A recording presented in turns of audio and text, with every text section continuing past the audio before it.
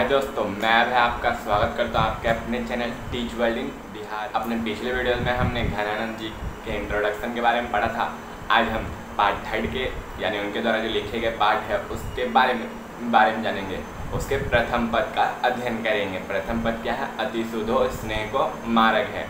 चलिए दोस्तों इस वीडियो स्टार्ट करते हैं। उससे पहले हाँ नए व्यूअर प्लीज़ हमारे चैनल को सब्सक्राइब कर दें और हमारे चैनल पर उपलब्ध वीडियोज़ को ज़रूर से ज़रूर देखें।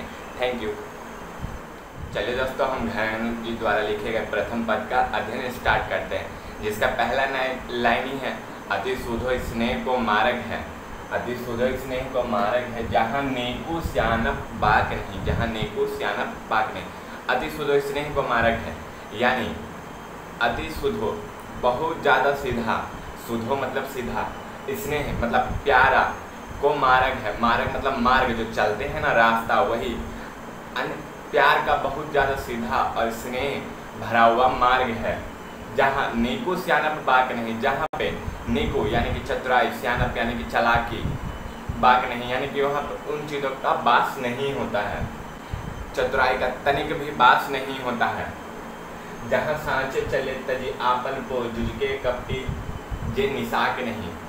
दूसरा लाइन, जहाँ सांच चले तजी आपन, जहाँ पे सच्चाई साच मतलब सच्चाई चलती है। तजी आपन को मतलब तजी आपन को मतलब अपने लिए मतलब वहाँ पे नहीं रहता है।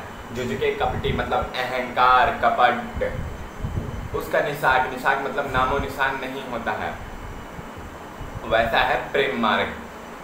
प्रेम मार्ग। उसके फिर बोलते हैं घनानंद प्यार सुजान सुनो यहाँ, एक तो दूजो आँख नहीं। जिनसे प्रेम करते थे। मैंने जैसे पिछले वीडियोस में उनके इंट्रोडक्शन में बताया था, सुजान एक नृत्यिका थी, कहाँ? ना, बादशाह मोहम्मद रंगीले के दरबार में एक नृत्यिका थी, जिससे घनानंद जी को प्यार हो गया था। उसी में बताते हैं, घनानंद, प्यारे सुजान सुनो। घनानंद बोलते हैं, प्यारे सुजान सुनो। सुनो, यहाँ एक से दूसरो आँख नहीं, यहाँ पे एक से दूसरा कोई नहीं होता है। सब एक ही हो, यहाँ एक से दूसरा अंक नहीं होता है। आँख मतलब अंक नहीं होता है। सब एक ही है। हम दोनों एक दूसरे के लिए ही बने हुए हैं। ऐसा वो कहते हैं। उसके बाद नेक्स्ट लाइन में कहते हैं, तुम कौन धोपाटी पढ़े हो? कहो, मन ले हो देहु छटा के नहीं। तुम कौन धोपाटी? धोपाटी मतलब तुम क्या पढ़ी हो? तुमको किसने पढ़ाया है? पढ़ाया है। पढ़े हो, कहो, मन ले हो। मन मतलब जो बोलते नहीं एक मन, दो मन, चालीस किलो, वही वाला, मन ले हो, पर देहु छटा के नहीं। छटा के मतलब थोड़ा भी होता है। मापने का एक पैमाना। मतलब कि तुम मुझसे बहुत, तुमको किसने पढ़ाया है कि मैं तुमसे बहुत कुछ लूँगा, लेकिन दूँगा कुछ भी नहीं? ये सर्वथा अनुचित है। यानी कि इस पूरे पूरे पद का सारांश पद इतना था कि प्यार का प्यार का मार्ग अनेक बहुत ज़्यादा सीधा है। जहाँ पे टेढ़ापन, अहंकार, चलाकी, एक से दूसरा, अब बहुत लेना, बहुत कम देना, ये सब चीज़ बहुत मतलब ना के ये सब चीज़ होता नहीं है। बस प्यार का मार्ग सीधा और सरल है। यही इस कहानी का सारांश था।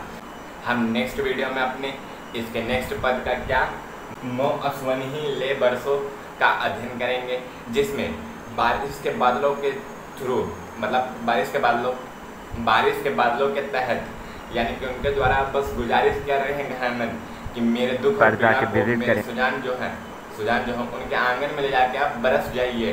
बस यही गुजारिश करते हैं और अपने प्यार को दर्शाते हैं। प्लीज़ हमारे चैनल पर उपलब्ध वीडियोस को देखते रहें और सब्सक्राइब करना ना भूलें हमारे चैनल को। हमारे Telegram I D teach world in Bihar पर भी जाके आप विज़िट हमारे इंस्टाग्राम और फेसबुक पेज पर भी आप जाके वीडियोस देख सकते हैं। वहाँ पे उपलब्ध वीडियोस को।